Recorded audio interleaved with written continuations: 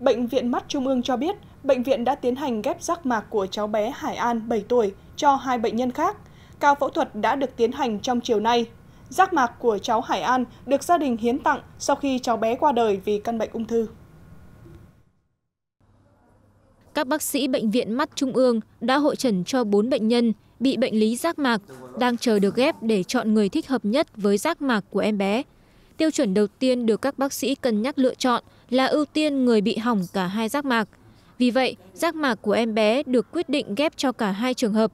Một người 73 tuổi bị sẹo rác mạc ở cả hai mắt, chỉ phân biệt được sáng tối, và một người 42 tuổi bị đục rác mạc bẩm sinh, thị lực chỉ đếm được ngón tay của mình. Đây là hai trong số hơn 1.000 bệnh nhân đang chờ ghép rác mạc tại Bệnh viện Mắt Trung ương đến thời điểm hiện tại. Sau ca ghép trong khoảng một tiếng vào chiều ngày hôm nay, cả hai trường hợp có thể nhìn rõ hơn bằng một mắt. Các bác sĩ Bệnh viện Mắt Trung ương đang cố gắng trong thời gian sớm nhất thực hiện ca phẫu thuật để có thể mang ánh sáng đến cho những người thiệt thòi theo như di nguyện của em bé.